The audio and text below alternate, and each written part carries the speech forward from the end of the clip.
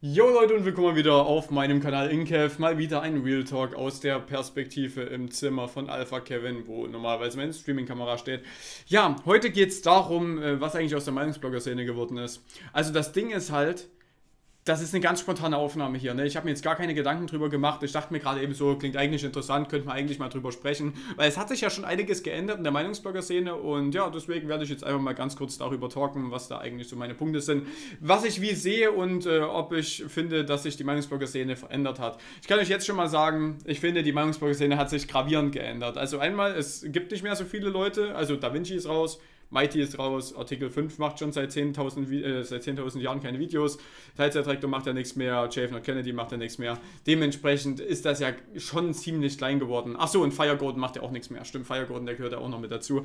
Ähm, ja, also es gibt mittlerweile nicht mehr so viele Meinungsblocker, die ganz kleinen Meinungsblocker, also teilweise sehr, sehr kleine Meinungsblogger, die sind relativ cringe immer noch, die hacken immer nur auf eine Person rum und das war's dann. Also zumindest bekomme ich immer mit, zum Beispiel, dass jeder gegen Reels ist, obwohl ich, ich habe keine Ahnung von Reels, also ich weiß jetzt nicht, was der so alles hochlädt. Ähm, aber ich bekomme da immer nur mit, dass darauf rumgehackt wird und irgendwie interessiert es mich einfach nicht. Ich gehe jetzt einfach mal darauf ein, äh, was so die Größeren machen. Ja, also fühlt euch jetzt bitte nicht verletzt oder angesprochen, äh, wenn ich jetzt sage, dass äh, mich die Kleinen da nicht so interessieren. ich kann nur sagen, wen ich so mitbekommen und ich bekomme halt das mit von QDV, Just Nero, von mir und ja, mittlerweile gibt es ja gar nicht mehr so viele, mit denen man da noch was zu tun hat, außer noch mit Baku. Dude mit Maske ist ja sozusagen auch abgesprungen von der Meinungsblogger-Szene. Ja, kommen wir aber mal kurz dazu. Also ich finde schon auf jeden Fall, dass sich das äh, drastisch geändert hat. Ich finde mittlerweile sind wir als Meinungsblogger-Szene ziemlich sehr zusammengewachsen. Also ich finde, wir vier, Baku, Jasnero, Kunifa und ich, wir machen relativ viel. Wir schreiben viel in unserer Gruppe, wir kooperieren auch das ein oder andere Mal, was ich auch sehr cool finde. Und jeder geht auch irgendwie so trotzdem seinen eigenen Weg. Also es ist jetzt nicht so, dass wir die ganze Zeit nur aufeinander hängen und ein Thema nach dem anderen durchkauen, was jetzt schon. Also ich mache jetzt zum Beispiel kein Video, was Jasnero davor schon gemacht hat und QNV noch davor gemacht hat. Naja, also wir besprechen uns da relativ gut ab. Also es gibt wahrscheinlich schon öfter mal Doppelungen, wie zum Beispiel das Mickey TV-Thema. Grüße gehen raus übrigens an QNV, der Mikey TV gesagt hat. Lost, der Typ. Ähm, ja, aber ich finde, die Meinungsblogger-Szene ist einfach wieder stärker geworden. Ja, ich, ich muss sagen, es geht einfach wieder bergauf. Also mittlerweile machen ja die Videos von KuchenTV, von Just Nero, von mir, von Baku, die machen ja relativ gut Klicks und ich merke halt auch, dass dass es irgendwie wieder vorangeht. Zumindest merke ich das natürlich jetzt bei mir. Momentan läuft ja mein Kanal super und äh, ich merke einfach, dass die Meinungsblogs sich echt wieder relativ viele Leute gönnen. Viele Leute sagen auch, ja, mich interessieren Meinungsblogs nicht und es ist eigentlich Rotz, aber ich finde einfach die Art, wie du das machst, finde ich zum Beispiel ganz cool. Und ich finde einfach, das ist extrem nice. Also ich merke das jetzt bei mir zum Beispiel.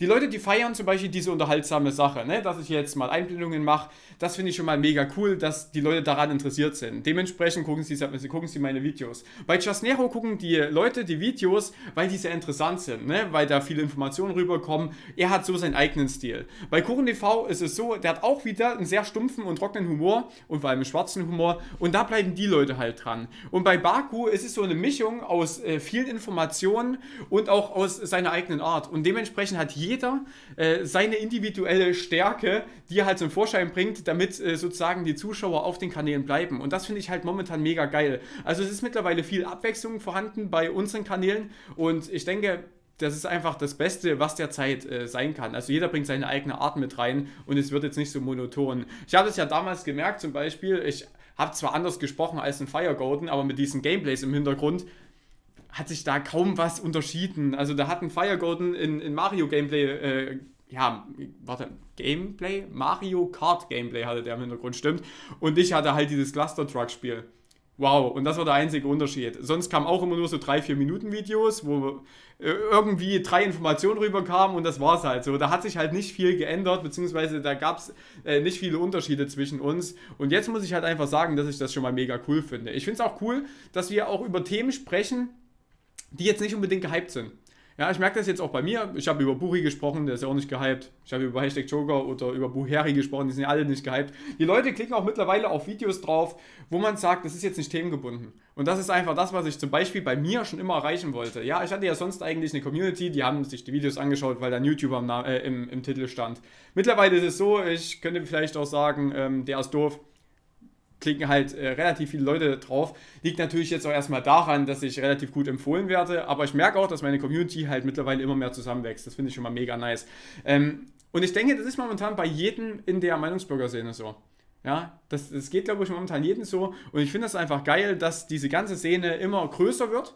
Jetzt nicht von den Leuten, die die Videos machen, sondern die Zuschauer, die dazukommen. Und ich glaube, das ist einfach geil. Und ich finde auch den Support untereinander mega gut. Also, es ist ja nicht nur so, dass wir jetzt sagen, ja, klickt mal auf das Video drauf oder klickt mal da auf das Video drauf. Ich finde es auch zum Beispiel geil, wenn wir jetzt zum Beispiel Livestreams machen, da wird mal ein KurenTV geratet, da wird mal ein Jasnero geratet oder Jasnero rated mich oder Jasnero rated KurenTV. Das ist halt immer so ein Hin und Her und ich glaube, das zeigt einfach, ähm, dass wir uns gegenseitig auch einfach das Ganze gönnen.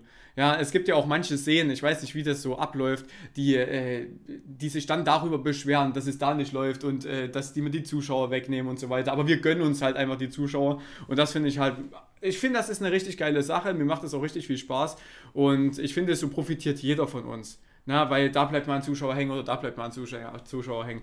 Finde ich, ist eine geile Sache. Wir reacten ja auch auf unsere Videos und ähm, ich denke, das trägt halt alles dazu bei, dass die Meinungsblogger-Szene immer größer auch und immer besser wird, beziehungsweise auch immer interessanter wird. Und ich finde auch, was man auch so im Laufe der letzten Jahre so gesehen hat, wir entwickeln uns übel gut weiter. Ja, also ich, ich merke es jetzt bei mir, ich entwickle mich auch komplett weiter, was mein Stil angeht. Ich weiß noch, vor einem Jahr habe ich so Videos gemacht, ach, keine Ahnung, kannst du eigentlich schon fast in die Tonne hauen. Wobei ich muss sagen, vor einem Jahr die Unterhaltungsvideos, das war ja nochmal ein anderer Stil, aber ich sag mal vor zwei Jahren mit diesen Gameplay-Videos, kannst du halt in die Tonne hauen. Ja, das finde ich jetzt auch nicht mehr wirklich interessant. Wenn ich mir meine jetzigen Videos angucke, muss ich sagen, Alter, da ist eine das 180 Grad beschreibt es gar nicht, wie ich mich da geändert habe. Ja? Mein Humor ist anders geworden, ich baue viel mehr Sachen in die Videos ein und ich lasse mir auch mehr Zeit für die Videos. Sonst habe ich immer so auf Druck gearbeitet, so immer ein Video nach dem anderen raushauen. Ne? Hauptsache, ich, ich bleibe aktiv, Hauptsache YouTube empfiehlt mich irgendwie. Also man hat immer so den inneren Stress. Mittlerweile sieht es halt zum Beispiel bei mir so aus, ähm, ich mache ein Video, dann nehme ich mir einen Tag Zeit,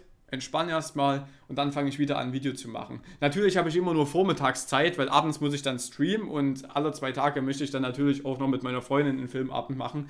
Ist dann natürlich auch immer ziemlich anstrengend, aber das bekommt man auf jeden Fall schon hin und ich denke, wenn da die Routine drin ist, ist das halt noch ein Stück weit entspannter. Ja, auf jeden Fall finde ich, dass es äh, sich schon ziemlich gut eingepegelt hat. Ähm, was die Videos angeht, ja, generell so in der Gruppe.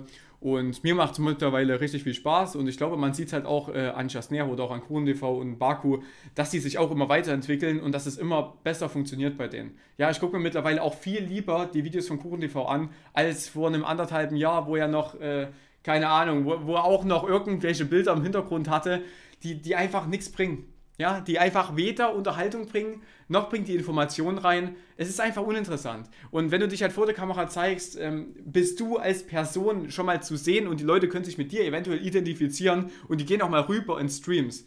Ich merke das auch jetzt mittlerweile, das ist übrigens auch mega heftig, hat zwar jetzt nichts wirklich mit dieser Meinungsbürger-Szene zu tun, aber ich merke gerade eben, wie viele Leute einfach auf Twitch mittlerweile bei mir sind. Also seitdem mein Kanal empfohlen wird und äh, seitdem ich auch die Videos vor der Kamera so gestalte, wie ich sie gerade gestalte, ich habe ja auch mittlerweile immer mein Gesicht mit dem Thumbnail, das ist auch noch lustig, das funktioniert ja ganz gut. Äh, seitdem habe ich einfach im Durchschnitt über 120 Zuschauer bei Twitch. Ich hatte übrigens vor einem Monat, das ist kein Scheiß, ich hatte am 13. oder 14. Äh, Oktober, hatte ich im Durchschnitt 40 Zuschauer. Und eine Woche später hatte ich im Durchschnitt 120 Zuschauer. Das kannst du dir nicht vorstellen. Das ist absolut äh, krass und vor allem sind das echt Leute, die in den Chat reinschreiben, die aktiv sind, die mir Support geben, die auch mal ein Abo da lassen, was weiß ich. Das ist einfach, äh, keine Ahnung, das, das, ist einfach heftig. Ja, das ist einfach mega heftig. Ich hätte niemals gedacht, dass es innerhalb von so einer kurzen Zeit so heftig werden kann.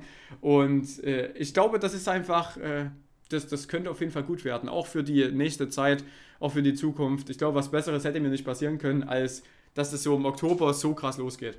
Ja, also ich weiß nicht, das Ding ist halt, wäre das jetzt im, äh, im Juli losgegangen oder, oder im Juni. Keine Ahnung, ich war da noch nicht so extrem zufrieden mit meinen Videos. Ich fand die schon deutlich besser als davor, aber die Qualität war noch nicht so gut. Und jetzt, wo die Qualität gut ist, wo ich äh, mehr Humor mit einbringe, jetzt finde ich das, jetzt bin ich auch mega zufrieden mit meinem eigenen Content und dass das jetzt auch noch so empfohlen wird, das ist natürlich doppelt geil für mich.